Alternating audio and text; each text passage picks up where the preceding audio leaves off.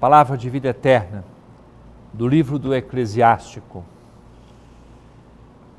capítulo 3, versículos 3 a 7 e versículos 14 a 17. Deus honra o pai nos filhos e confirma sobre eles a autoridade da mãe. Quem honra o seu pai alcança o perdão dos pecados, evita cometê-los e será ouvido na oração cotidiana. Quem respeita a sua mãe é como alguém que ajunta tesouros. Quem honra o seu pai terá alegria com seus próprios filhos, e no dia em que orar será atendido. Quem respeita o seu pai terá vida longa, e quem obedece ao pai é o consolo de sua mãe. Meu filho, ampara o teu pai na velhice, e não lhe causes desgosto enquanto ele vive mesmo que ele esteja perdendo a lucidez. Procura ser compreensivo para com ele. Não o humilhes em nenhum dos dias de sua vida. A caridade feita a teu pai não será esquecida, mas servirá para reparar os teus pecados. E na justiça será para a tua edificação. Querido irmão, querida irmã, de propósito, Neste domingo, tomamos a primeira leitura para a nossa reflexão e a nossa vivência, tirada do livro do Eclesiástico.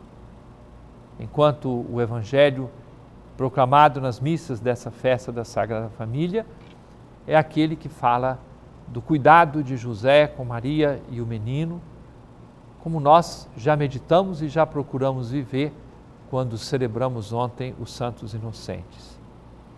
Nós hoje ao celebrar a Sagrada Família, queremos olhar para aquela que alguém já chamou de Trindade da Terra.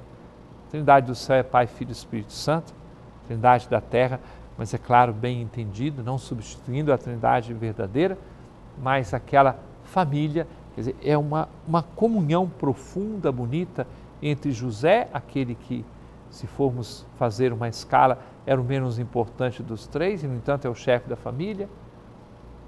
Maria, aquela sede da sabedoria feita mãe de família. E Jesus, o que é Deus, o que é homem e Deus verdadeiro, é aquele que é a criança, é o que tem que aprender dos outros dois.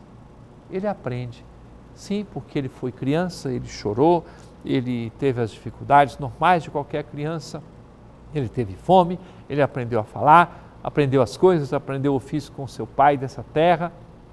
Tudo isso aconteceu com Jesus. A Sagrada Família, ela é a encarnação do Verbo de Deus acontecendo em detalhes.